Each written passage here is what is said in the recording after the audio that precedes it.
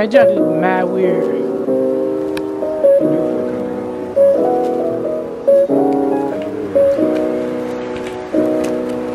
Hey, bro. You killing bugs while putting stuff on here, bro? Hey, they probably no, it probably it probably got stuck. That's so tough. Like probably like through the walls and stuff. I don't know, nigga. Cause I don't remember that happening.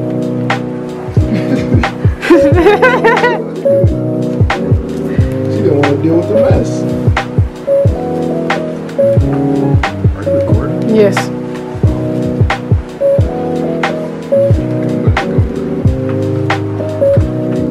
All right, exactly. That's why I'm, I'm just letting you know. Okay. Oh, it's empty. That junk look mad weird, bro.